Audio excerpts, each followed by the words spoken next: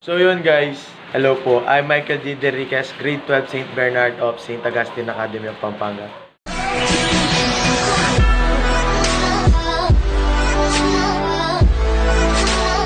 Po yung mga pinsan ko po. Ito. Nagbibuild po sila ng ano po, mga vape po nila. Ito po, pakita mo. Wait lang. Wait lang, sir. Dito na lang muna. Ito po, AGS X po. Tapos po yung isa po, SOB po siya na may extension. Ito po yung mga ginagawa ko araw-araw.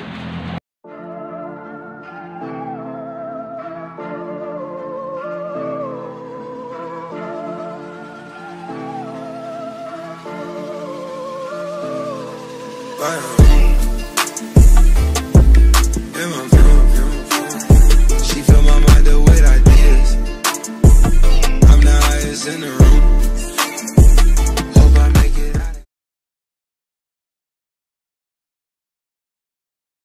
Yun po, basketball lang po kami ng konti. I said, girl, why you keep calling? I said, girl, why you keep calling? Yeah. She said, I need a new whip. Yeah, cause I know that you're still ballin'. She just wanna go back to the future, so I brought that girl a DeLorean. 21 minutes until I gotta go, so I told that girl I'm gonna slaughter it.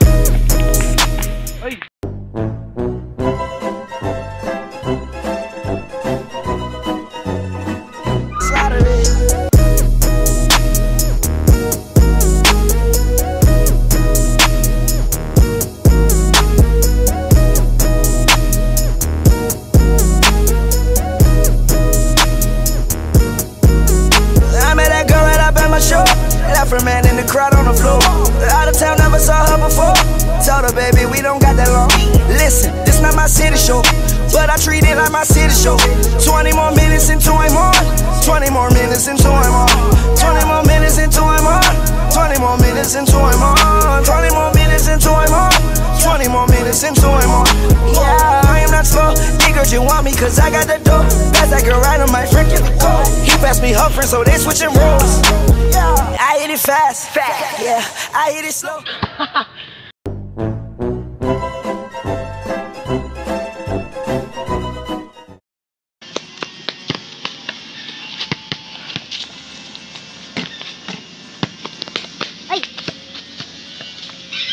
Yan, kukunin mo. So yun po, kukunin po natin yung bola.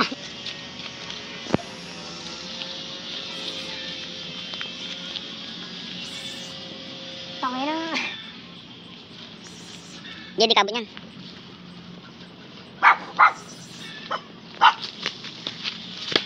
So yun, kakatapos lang namin mag-basketball kasama ko yung mga pinsan ko. Yan. Tsaka yung kuya ko. So yun po, pinapakitaan po tayo ng chef ng Palas. Yan po mga kaibigan. Kitang-kita nyo naman po ang mga galawan mga kaibigan. Talaga namang, talaga namang umay.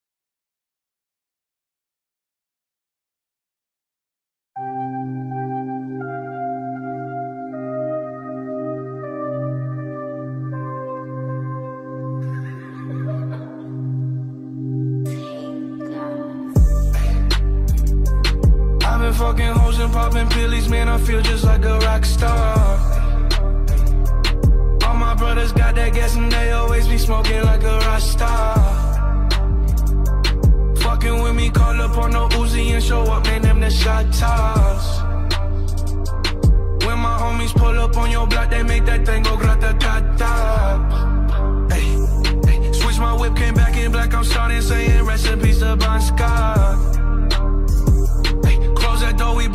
She asked me light a fire like a Marsan. Hey, act a fool on stage, probably leave my fucking show in a cop car. Hey, shit was legendary through a TV out the window of the montage. Cocaine on the table,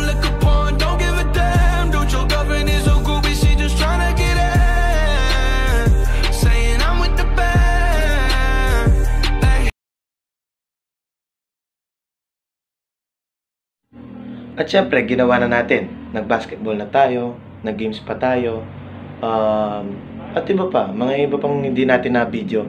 Um, katapos nun, kailangan pa rin natin gawin yung mga schoolworks natin at modules.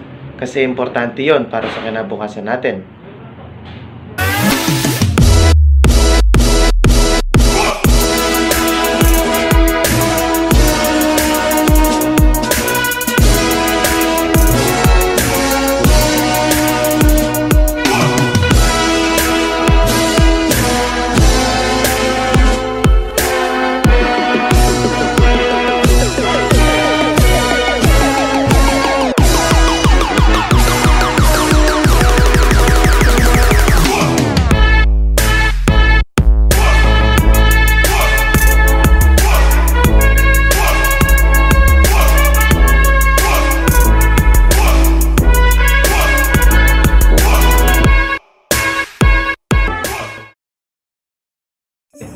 Dahil nga quarantine at marami na tayong ginawa, nag-basketball, nag-games, gumawa ng modules, eh, kailangan natin maging safe talaga.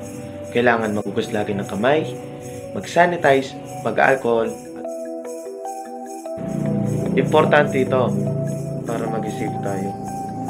Bye-bye! Stay COVID-free! Whenever I see girls and boys selling lanterns